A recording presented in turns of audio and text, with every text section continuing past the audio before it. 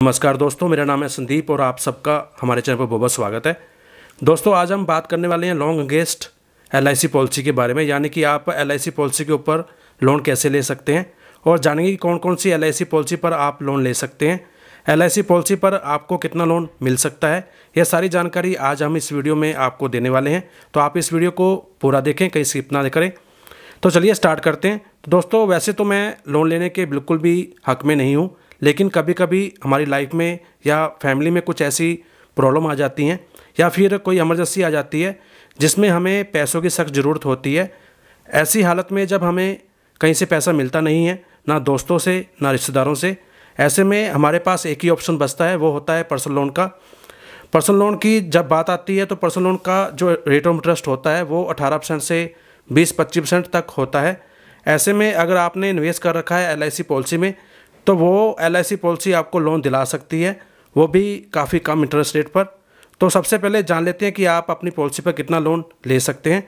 इसमें जो आपको लोन मिलता है, वो आपकी पॉलिसी को गिरवी रख कर दिया जाता है। जब कोई बैंक आपकी पॉलिसी को गिरवी रख कर लोन देता है तो बैंक द्वारा यह देखा जाता है कि आपकी पॉलिसी की स्टैंडर्ड वैल्यू कितनी है। जितनी आपकी पॉलिसी की स्टैंडर्ड वैल्यू होगी, उसका नब्बे परसेंट आपको लोन मिल जाता है। तो यहाँ पर अगर हम उदाहरण के तौर पर समझें तो मान लेते हैं कि आपकी पॉलिसी की स्टैंडर्ड वैल्यू एक लाख रुपये है तो आपको अपनी पॉलिसी पर नब्बे परसेंट के हिसाब से नब्बे हज़ार का लोन ही मिल पाएगा, इससे ज़्यादा नहीं मिल पाएगा। इसमें आपको सबसे बड़ा फ़ायदा ये होता है कि जो इसका रेट ऑफ़ इंटरेस्ट होता है, वो बहुत ही कम होता है। नौ से ग्यारह परसेंट के इंटरेस्ट रेट पर आपको ये लोन मिल जाता है। जैसे कि मैंने आपको पहले ही बताया है कि पर्सनल लोन का जो इंटरेस्ट रेट होता है, वो अठारह परसेंट से पच्चीस परसेंट के बीच होता है। अलग अलग बैंक्स का अलग अलग रेट ऑफ़ इंटरेस्ट होता है। लेकिन अगर आप पॉलिसी के अगेंस्ट लोन लेते हैं तो आपको नौ से ग्यारह परसेंट के बीच में रेट ऑफ़ इंटरेस्ट लगता है। तो इस लोन में लगभग आपको सात से आठ परसेंट कम इंटरेस्ट रेट भरना होता है। यह तो था इस लोन का पहला फ़ायदा। दूसरी बात, जब आप किसी बैंक से लोन लेने जाते हैं तो सबसे पहले आपका सिब्बल स्कोर की जो रेटिंग है वो देखी जाती है। अगर आपका सिब्बल स्कोर ख़राब है या कम है तो आपको लोन नहीं मिल पाता है। लेकिन अगर आप LIC पॉलिसी पर लोन लेने जाते हो तो आपका सिब्बल स्कोर नहीं देखा जाता है। जैसे कि मैंने आपको पहले बताया कि यह लोन आप अपनी पॉलिसी को गिरवी रख कर ले रहे होते हैं और वो भी आपकी पॉलिसी का सिलेंडर वैल्यू का 90 परसेंट ही लोन आपको दिया जाता है। तो ऐसे में आपका सिब्बल स्कोर नहीं देखा जाता है और इस लोन का सबसे बड़ा फ़ायदा यही है कि चाहे आपका सिब्बल स्कोर कम हो या ख़राब हो, यहाँ आपका कोई भी बैकग्राउंड नहीं देखा जाता है कि आपने पहले कितने लोन ले रखे हैं, कितने की आपने किस्तें भरी हैं, कितनों की किस्तें आपने नहीं भरी हैं। बैंक से ये सारी डिटेल्स में नहीं देखता है।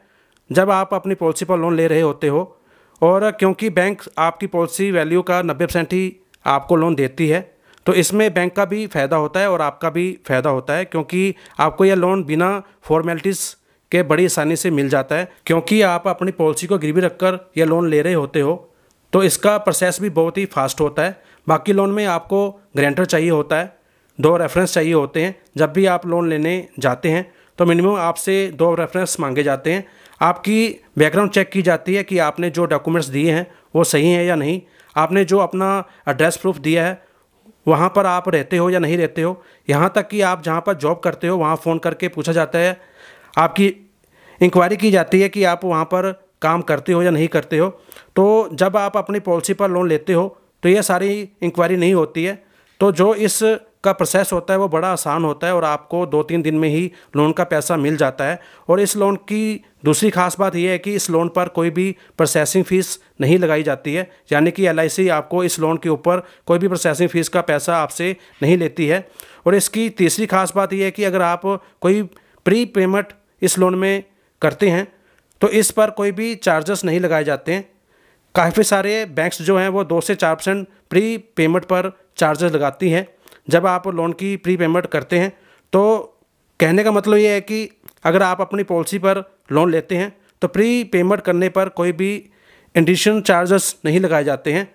लेकिन यहाँ मैं आपको बताना चाहूँगा कि आप प्री पेमेंट छः महीने के बाद ही कर सकते हैं यानी कि जब आप की छः ई भरी जा चुकी हों और आपके लोन के छः महीने हो गए हों तभी आप प्री पेमेंट कर सकते हैं और आप, आप फुल पेमेंट करके अपने लोन को बंद भी करवा सकते हैं, लेकिन इसके लिए आपको छः महीने का वेट करना होता है। अब जान लेते हैं कि आप अपनी पॉलिसी पर लोन कब ले सकते हैं। तो यहाँ मैं आपको बताना चाहूँगा कि आप अपनी पॉलिसी पर तीन साल बाद ही लोन ले सकते हैं, यानी कि आपकी पॉलिसी को लिए हुए तीन साल का टाइम हो गया हो, और आपने रेगुलर तीन साल पॉलिसी का जो प्रीमियम है, वो भरा हो, तभी आप अपनी पॉलिसी पर लोन ले पाएँगे।